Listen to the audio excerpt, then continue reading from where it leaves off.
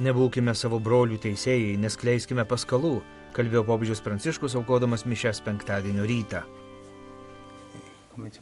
quelli che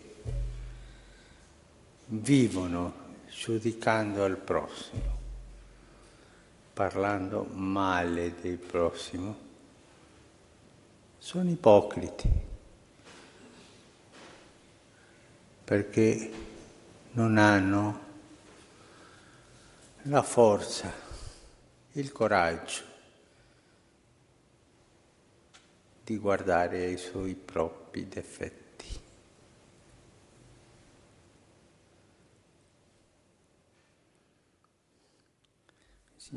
Tie, kas gyvena teisdami artimą, apkalbėdami artimą, yra veidmainiai, neturintys drąsos pažvelgti į savo trūkumus. Viešpats dėl to nesileidžia į ilgas kalbas. Jis yra pasakęs, kad kas pykstant savo brolio, tas turės atsakyti teisme kaip žmogžudys. Ta pati aiškiai sako ir apaštalas šventasis Jonas savo pirmajame laiške.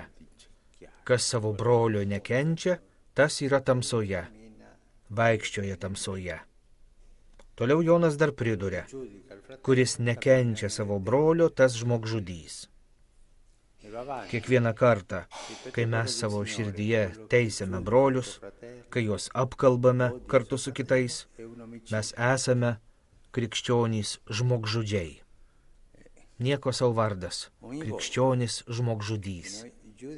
Čia nėra vietos jokiems pagražinimams, nes viešpats tai sako. Jei tu apkalbi brolį, tu jį žudai. Kiekvieną kartą, kai taip elgiamės, mes mėgdžiojame kainą, pirmąjį žmogžudį istorijoje.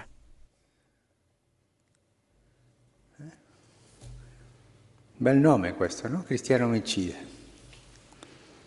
Non lo dico io, eh, lo dice il Signore.